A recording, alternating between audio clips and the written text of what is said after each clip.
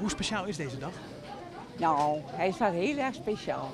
Ja, het is wel eh, een raar gevoel. 50 jaar is toch wel, ja, achteraf bezien, wel een hele, een hele lange tijd.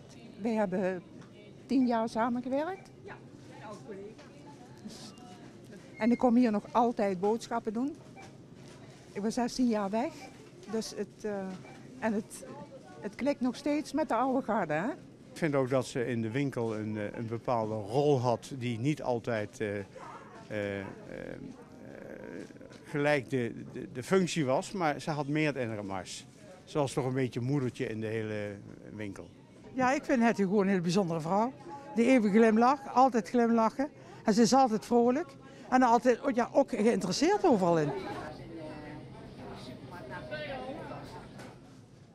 Ja, van een klein winkeltje met eh, vijf mensen en de baas eh, naar een, eh, ja, de winkel van nu, van meer dan 200 man. Dus ja, dat is een hele verandering.